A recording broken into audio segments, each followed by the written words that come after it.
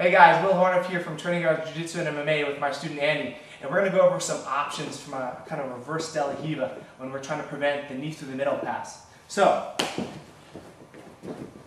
you have your opponent, he's trying to go knee through the middle. I'm going to get my hips the opposite way. So I have a right foot hooking behind his thigh, my right knee on his knee, turning him to the left. But as he starts coming in, I'm going to go for the sweep we previously did on one of the other videos, where I'm punching and scissoring and bringing him to the left. But however, sometimes, sometimes they'll just kind of hang back, you know, and they're just kind of threatening the pass, but they're not doing enough to pass you. So what I'm going to do is I'm going to take his hand, right, I'm going to grab right at the wrist, and I'm going to pull it to me and bring my knees in as well. It's going to cause him to step. As soon as he steps, I'm going to go under his leg and make sure that I circle underneath, making sure that his knee is tight to my shoulder. Now, this is not like, for instance, when I'm doing uh, like an X guard where it's all the way up here. With this one, I want to make sure that his knee is plastered to my shoulder really tight. Now, what I'm going to do is I'm going to lock my legs, making sure that my top leg locks over my bottom leg. And you can see that my knee is right in, my shin's right in his knee joint. I'm going to keep holding his left, his right ankle, and I'm going to drive my legs forward. Now, if he posts with his hand, I can just, I can get up pretty much not worrying about the triangle because his leg is between my legs. So I'm gonna get up on my elbow, make sure to have a high grip right here on his hip, and then I can just sit out and base.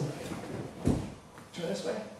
Now, once I get up, I wanna focus on taking my keeper here, I'm taking my right hand on his stomach right here. All right, I don't want to hold like this because it's not as powerful. So I'm to take my right hand right here to his stomach.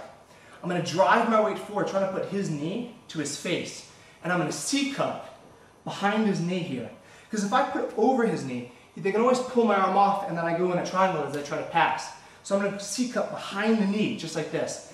Drive my weight forward, right hip heavy, trying to drive his knee into his head. All right, now, sometimes I even take my left hand and put it behind my back. I just use it to check this leg if he hooks my leg. I use it to C-cup, do leg work, step out, and then continue the pass. So I'm to drive, drive, drive. Now, I'm going to go head up, chest forward. Head up, chest forward. And when I do that, I'm to catch this leg. My elbow's going to drop, and then I'm to walk to the north-south position.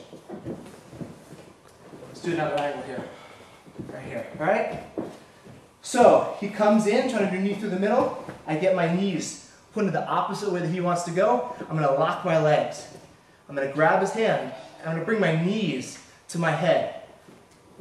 Causes him to step. I'm going to grab his leg. I like to grab right by the knee right here, right above it. And I make sure it's plastered to my shoulder.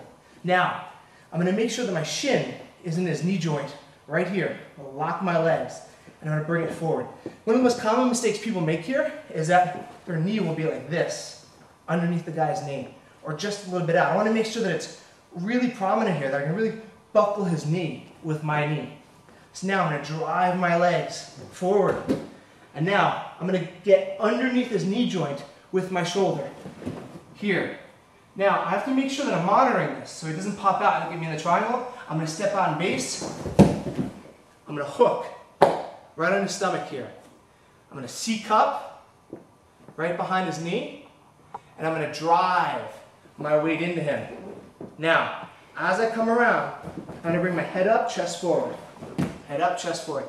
And catch his leg, right elbow down, get low, and north-south position.